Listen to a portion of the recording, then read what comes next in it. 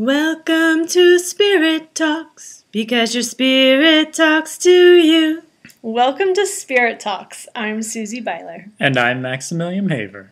Our Spirit Talk topic today is the term New Age. Thanks for joining us and enjoy. So, tell me, Max, what is your understanding of the term New Age? New Age was originally cre- a term created to define a broad spectrum of exploring spirituality outside of religion, which I mean has been going on for a long time. Um, but there's there's certain common themes that that tend to be followed by a group of people, and so they decided to term it New Age. And so eventually it became a popular term that's used by a lot of people. And it usually nowadays refers to more the social aspects. Um, there are, you know, the common ideas that are practiced and shared, but it's it tends to be within more of a social setting of their outward expression with the ego. So, what do you mean? What do you mean by that? A social? I never heard that before. What? Say more about that.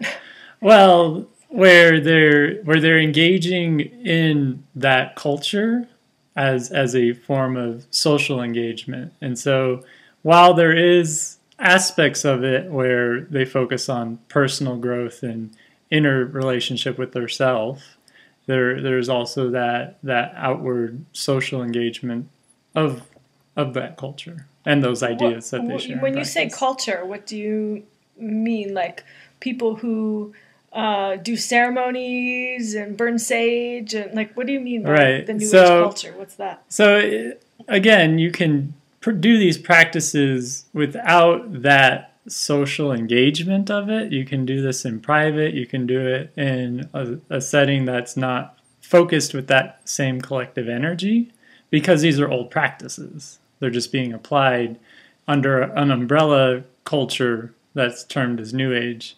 And you know, I mean, that's only if you're associating yourself with that culture. So, yes, practices, uh, you know, kirtans, drumming circles, um, drinking kombucha, you know, like it's it's certain tropes like this, but there's there's other things that I mean, and and these things are used in in other cultures. It's just this collective term that that they're being used, you know, to, to reference the social aspect of what's going on with these events. And in one way, it's it does tend to be in certain certain uh, certain social circles, it, it tends to be misled by the ego, where where there's a competitiveness of spirituality or or a a self validating energy to it, rather than just simply being exposed to the ideas and exploring that inward growth for yourself. So while it does have that aspect, it, it does assist people in awareness of those things to be able to explore. So it is serving a purpose. Well, I've been given the label New Age. Mm-hmm.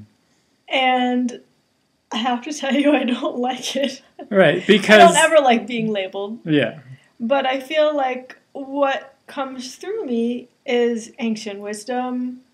It's relevant here and now. It has nothing to do with New Age in the way that you've just so eloquently described it. It's a weird it's a weird thing, you know, because I'm just me, you mm. know, and mm-hmm. to be given a label, it's like, what?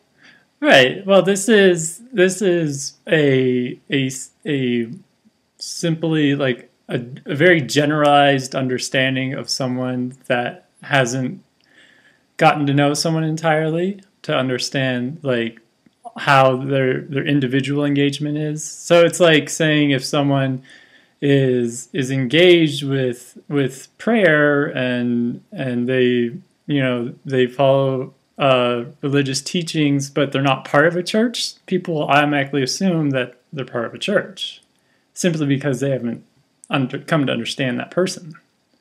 And so it's just it's so whenever what what you're disliking about it is the energy of the negative connotations yes. that they've bundled with yes. that that view of someone, Yeah. and so you're feeling the energy of it, and Right. yeah, and so that's and you're like, don't project that towards me. That's right. Yeah. So, what would you call this time? Like a lot of people would call this the New Age. I've heard this time referred to as the the dawning of the Golden Age. Mhm. What would you call this time that we're in? Well, do you wish to label the time in particular because it's always shifting? Do you want to like? I mean, that's a choice. You could call it anything you want, really. Um, you could say it's it's the age. Maybe in maybe in a very specific way, you could say it's it's an age of where more people are focusing inward and connecting with their higher aspects or their spirit or their soul or however outside of the context of religion. Now that's just a description of it. You can give it whatever name you want. Well, in some ways, I believe the time we're in now is a new age because a lot of things will be unfolding that we've never seen, even in our, you know, past lifetimes. So, in some ways, it's kind of appropriate. Mm-hmm. Right. So this is how how how accepted is I mean, are you okay with using that term with the same verbiage, the same literal like, verbal expression of the of the name but meaning something different? Are you fine with that even though other people will misunderstand that? I still don't really like the term. All right. So you're sensing the energy about it though. That's why Yeah. you're not liking it. yeah. because it's, it, you're willing to say it because you're like, well, it's it is a new age, so you can call it a new age, Yeah. but then you're not liking the energy that the collective has put on it.